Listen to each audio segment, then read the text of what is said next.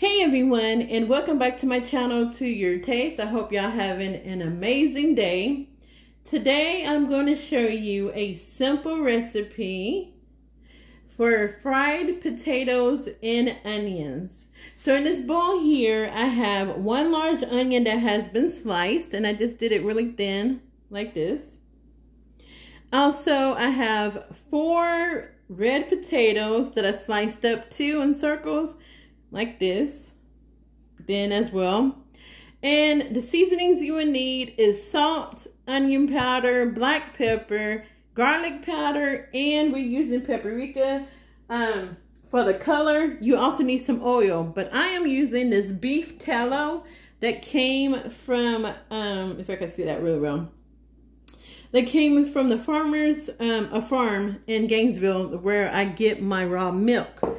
Y'all, tallow, I use that when I make eggs and those eggs, scrambled eggs, and they come out so flavorful, so good, better than butter. All right, so, but you know, you use any oil that you have on hand. So I have my cast iron skillet heating up with a tablespoon of that tallow, and I'm gonna get started. So let's head over there. Okay, so my skillet is ready and so are my potatoes. And y'all just want to add to the, the reason why I put my potatoes in salted water is to prevent them from going brown and also to remove some of the starch off the potatoes so they would not stick to my cast iron skillet. Take some of this water off. And I have, I just moved my skillet down is on medium heat. And we're gonna cook these up. Let it get almost done.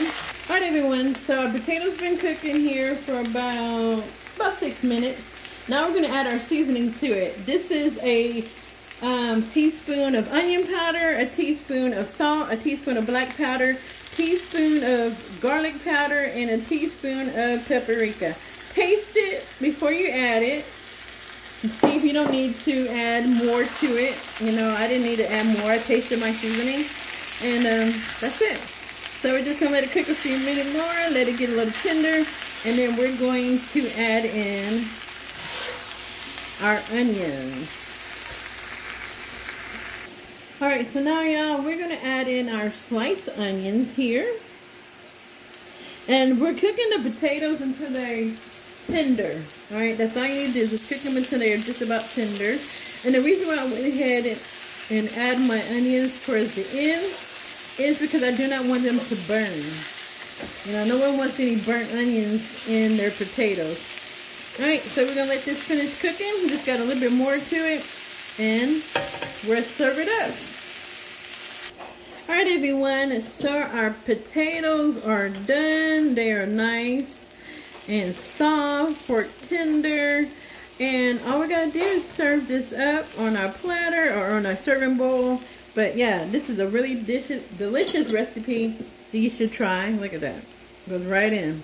Alright, so let me go grab a serving bowl and then we're in the video.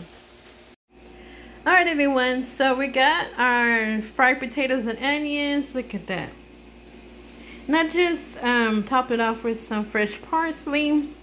So fresh parsley, look how nice and good they are. They're nice and tender. Look at that. goes right through. Look at that. Alright, so I just want to give you a close-up of the fried potatoes and onions. Alright, so that is it for the video, y'all. Try out this recipe. All the ingredients will be in the description tab.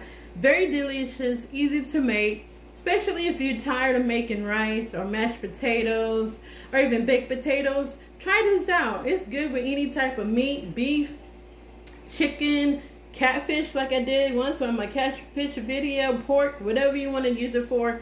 Very easy, delicious. Your family will love it. All right, so y'all have an amazing weekend.